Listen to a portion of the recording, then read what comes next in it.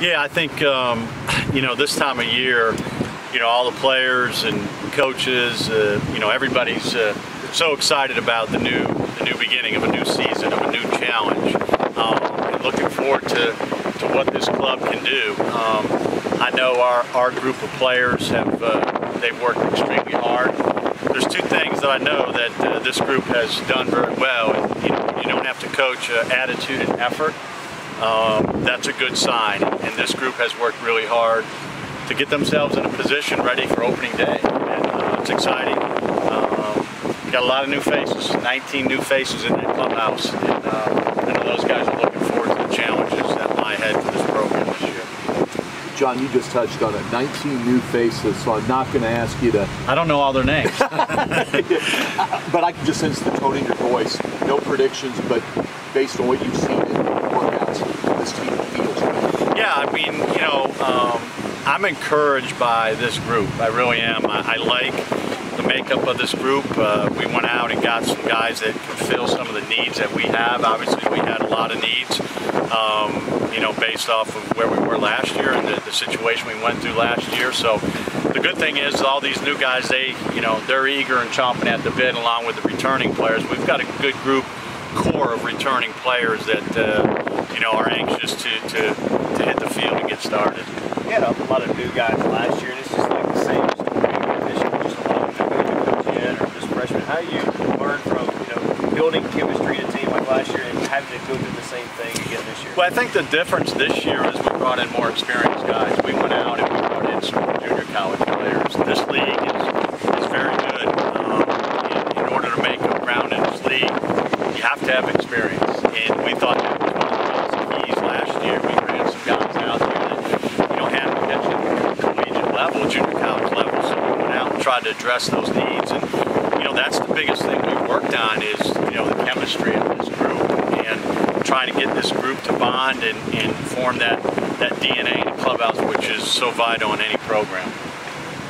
John, I'm not saying that it's vital, but with such a new group, how nice would it be to get off to a solid start to your fun season? You know, any any year you always want to get off to a good start. It doesn't matter what year, if you you know what year it is, um, you want to get off to a good start.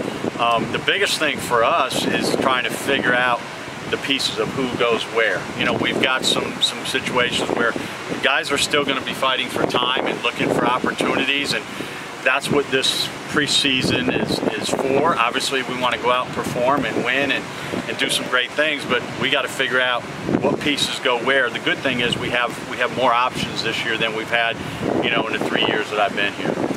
Mentioned options there. You turn your weekend starters. They're pitching, and then uh, you know, Troy added. You know, it was a strong lefty and you coaches. How do you feel about the pitching staff? I think we there again the word option comes to mind. Um, more depth. I think when you know, last year we had some guys that, uh, you know, uh, were hurt, got, and we had to put some guys in there. They worked extremely hard and really battled, but, you know, um, there's no no substitution for experience on the mound. We've got some experience, but they have to go out and perform. You know, experience is one thing, but performance is another. You can have great experience, but um, there comes a time when you have to go out and, and the expectations of, of being an older guy um, you've got to meet those expectations, and that's where we're at right now.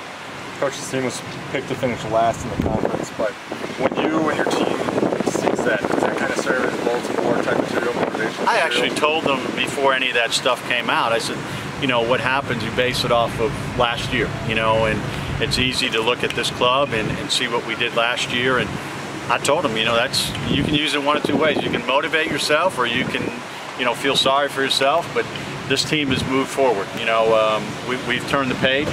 Uh, what's done is done, and, and there's a lot of excitement with this group. And sure, we'll use it for motivation, but we also have to use it for, um, you know, an experience thing to learn what we did and what we need to do better. Coach Curry isn't moving to left field, correct?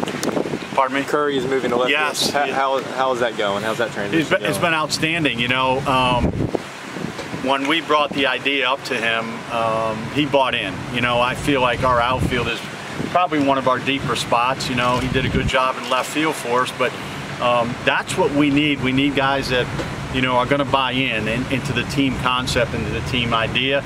Slid him over to left field, and he's done an outstanding job. And, and uh, I'm proud of him the way he's handled it. Sometimes it's hard when you when you're a senior and you're asked to move a position. He never batted an eye, and that's that's what we need in that clubhouse for this program. John, we're also going to talk to Ryan. What do you like coaching about Ryan?